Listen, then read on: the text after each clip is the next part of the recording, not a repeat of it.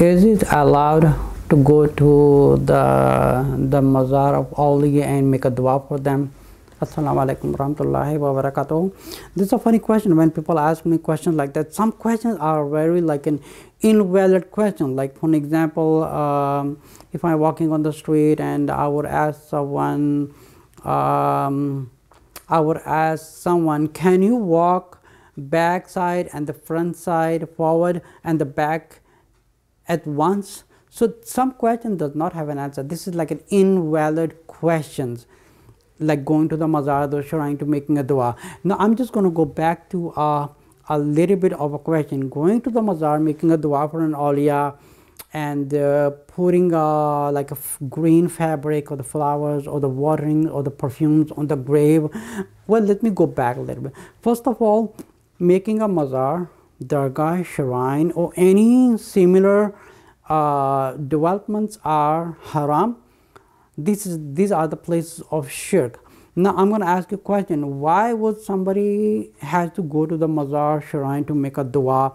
First of all, this, these places are haram to even build that. Then how is it possible you go to that place? First of all, that place is haram. That, that is for an example, uh, you going into the haram place and uh, you are expecting to get a halal food into the haram place. Like for example you getting into the bar where they're selling alcohol. You asking them do you have a halal food here? This is a funny question. You you going into the haram. First of all you going to the wrong place because that place is not even halal. So why are you going there? You're asking something what is totally forbidden. The mazar dargah and all these things are um, are totally forbidden. But going to that is like a far away question. You don't need to go there. But the first question is these places are haram to build it. This is the places of shirk and this is not allowed to build that. Now forget about the dua. I just answered your first question that answered automatically to the second question. The first question is making a mazar building a shrine and the dargah or the mazar developing that decorating that with the lighting flowers or the green color fabrics with the quran verses and all that. Everything is a bid'ah. It doesn't even exist. Like for for us as a muslim who is the most beloved to us number one prophet what is the number two? Sahaba. Everyone i'm sure everyone agree with me. Number one the prophet is the most blessed grave.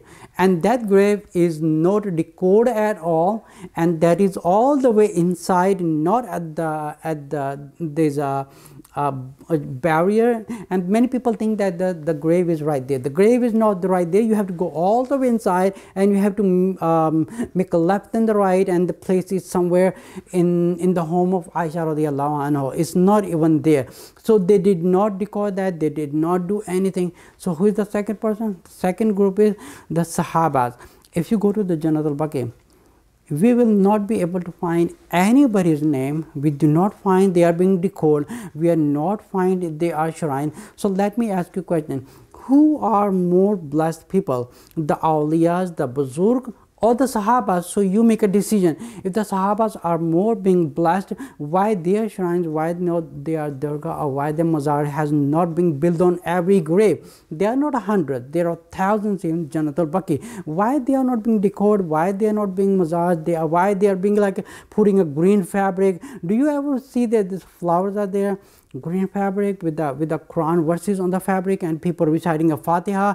It's nothing it's nothing there because the Prophet said there should be no sign on the grave who is in the grave. Now if you go to the eastern countries like in India Pakistan every almost every street we find the grave with a nice beautiful uh, decoring and people going there making a fatiha reciting a yasin reciting a fatiha and and these are all bid'ah. So the question was being asked if it is allowed to go to the mazar and making a dua for the buzurg you can make a dua even you sitting in the russia. You can make a dua even uh, you are sitting far away in australia and you uh, you have some uh, loved one passed away some other part of the country you can make a dua from anywhere.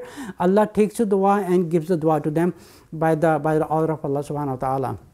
You don't need to go to a mazar or shrine because making the shrine and doing the development of the shrines and the mazar and the, the building all that this all it's a business. This should these things should not be there and the muslim leader should destroy them because uh, because our beloved uh, sahabas uh, we do not find the shrines in Jannat al-Baqi. We do not find the dargahs, we do not find anything, but rather every city on eastern countries we see a mazar, shrine and everything. This is haram and this should not be there. So I have answered your um, first question that is automatically answered your second question.